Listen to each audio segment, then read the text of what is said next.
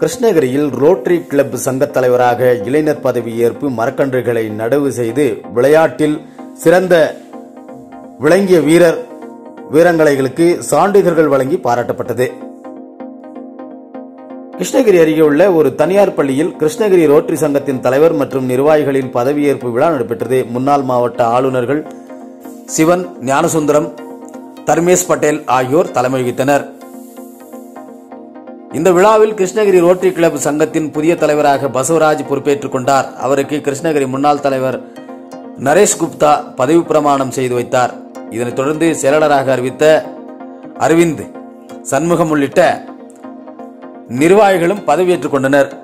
பின்னர் இயற்கையை பாதுகாத்திடும் வகையில் மரக்கன்றுகளும் நடவு செய்யப்பட்டது. மேலும் இந்த விழாவின் போது கடந்த ஆண்டு சமுதாய தொண்டில் சிறப்பாக செயல்பட்டவர்களுக்கு நினைவு பரிசுகளும் வழங்கி கௌரவிக்கப்பட்டது. இதனைத் தொடர்ந்து ஜூடோ உள்ளிட்ட பல்வேறு விளையாட்டில் சிறந்த சிறந்து விளங்கிய வீரர் வீராங்கனைகளுக்கு ரோட்டரி சங்கத்தின் சார்பில் சான்றிதழ்கள் மற்றும் ஊனமற்றோர் ஊனமற்ற முன்னாள் ராணுவ வீரருக்கு மூன்று சக்கர வாகனம் உள்ளிட்ட பல்வேறு நலத்திட்ட உதவிகளும் வழங்கப்பட்டது.